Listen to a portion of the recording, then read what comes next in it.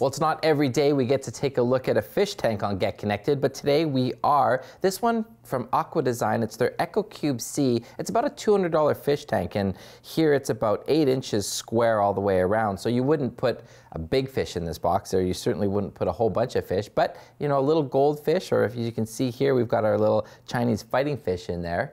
Uh, pretty cool design. Well, why are we looking at it? Because it's using some really smart technology. Let's, let me tell you what's in the box first. So Obviously, it comes with the tank. It also comes with the LED remote. Uh, it comes with the sand, and it comes with the mountain stone.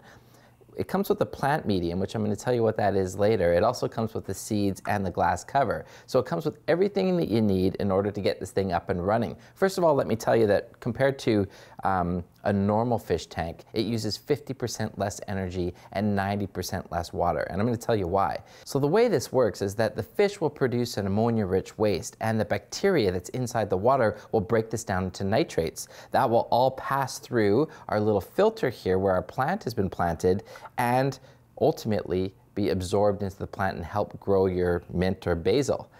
Once that's done, the water is going to pass back through and into the tank and naturally clean it. So it's a very cool system.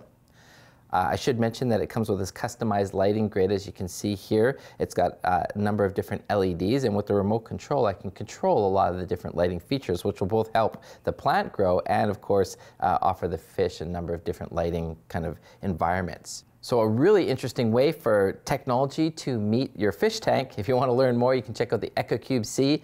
It's about $200 investment. Come on, little fish. Why don't you come out?